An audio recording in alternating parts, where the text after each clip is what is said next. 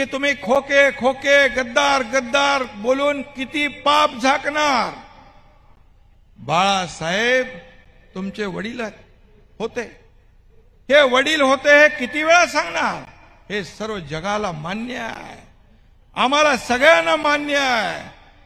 परंतु बाळासाहेब तुमचे वडील असले तरी ते आमचं दैवत होतं या शिवसैनिकांचं दैवत होतं.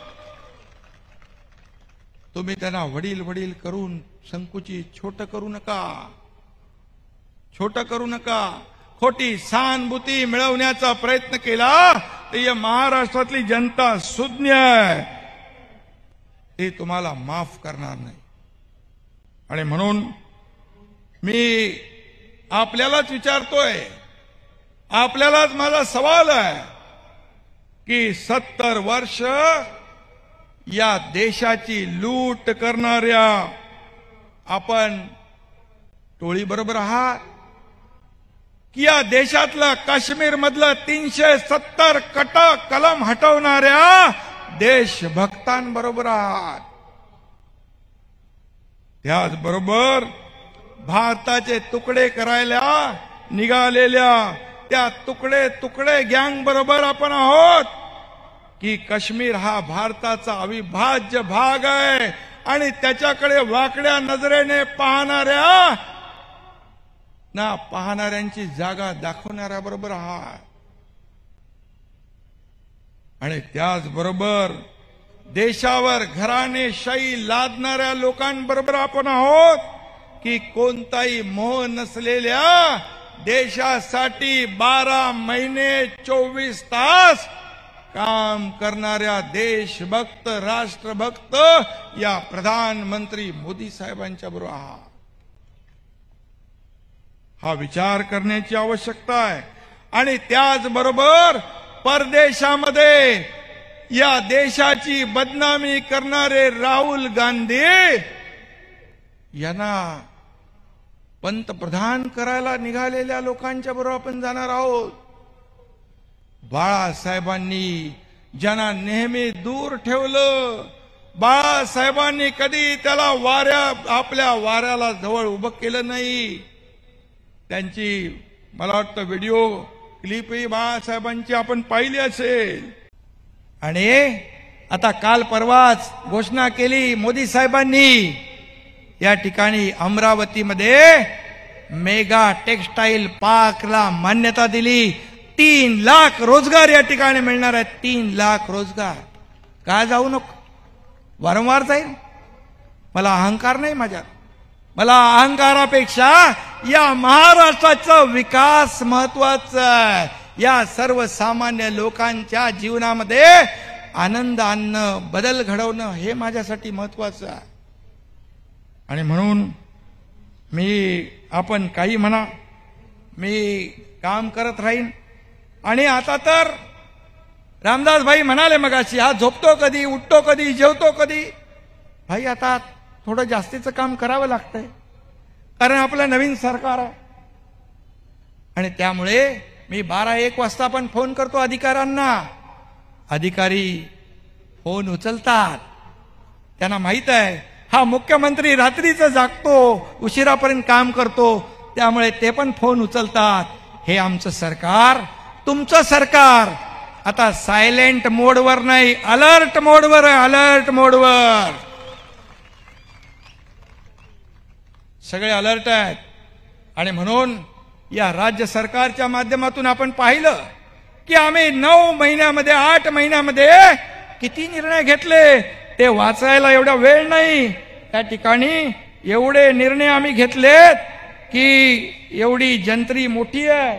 ही जंत्री वाचायला गेलो तर एक तास लागेल. एवढी कामं आहेत. हा? पेट्रोल डिझेल कमी केलं शेतकऱ्यांना सहा हजार रुपये दर वर्षाला शेतकरी सन्मान योजनेत आम्ही दिले. जी पंतप्रधानांची योजना होती ती आपल्या राज्याची पण केली आपण. हा?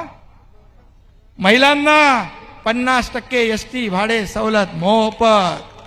पंच्याहत्तर वर्षाच्या ज्येष्ठांना मोफत. हे निर्णय आपण घेतले. आणि म्हणून एवढे निर्णय आपण घेतलेत की सर्वसामान्य लोकांना न्याय मिळाला पाहिजे. आणि म्हणून रामदासबाई म्हणाले कोकणाला काय? ए बाबा कुठे आहे रे कोकणाचा कागद? आणि म्हणून मी एवढंच सांगेन की हे सरकार सर्वसामान्य लोकांचं आहे. अर्थमंत्री आणि उपमुख्यमंत्री महोदयाने जो अर्थसंकल्प मांडला पंचामृत त्याच्यामध्ये सगळ्या लोकांना घेतलंय. तेव्हा देखील म्हणाले की गाजराचा हलवा असं म्हटले. हा अर्थसंकल्प गाजराचा हलवा आहे. अरे आम्ही गाजराचा हलवा तरी दिला तुम्ही फक्त गाजरा हलवत गाजरा फक्त दाखवत बसलात. हा फरक आहे. तुमच्यात आणि आमच्यात. आमचा काही पर्सनल अजेंडा नाही. आमचा अजेंडा एवढाच या सर्वसामान्य माणसाच्या आयुष्यात बदल घडवायचा. त्यांच्या जीवनामध्ये परिवर्तन घडलं पाहिजे.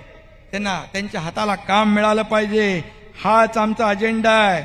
आणि म्हणून आपले जे काही गडकोट किल्ले असतील त्या छत्रपती शिवाजी महाराजांचे गडकोट किल्ले त्याचं संवर्धन जतन ते देखील ठोस आराखडा आम्ही केला. आणि कोकणासाठी शेवटी तुम्ही बाळासाहेबांवर प्रेम केलंय. तुम्ही बाळासाहेबांच्या विचारावर प्रेम केलंय. आणि आमचं सरकार या ठिकाणी बाळासाहेबांच्या विचारांचं आहे. त्यामुळे इथे मी फक्त आरोपाला उत्तर द्यायला नाही आलोय. मी या कोकणाला भर भरून द्यायला आलेलो आहे. भर भरून द्यायला आलोय. मला आठवतंय की रामदास भाई मंत्री होते तेव्हापासून त्यांचा एकच दोषा होता पाठपुरा होता. समुद्रात वाया वाहून जाणारं पाणी चौसष्ट टीएमसीचं काय कोयनेचं पाणी समुद्रात वाहून जाणार. त्याची बैठक आपण करतोय तातडीने. त्याच्यावर आपण निर्णय घेऊ.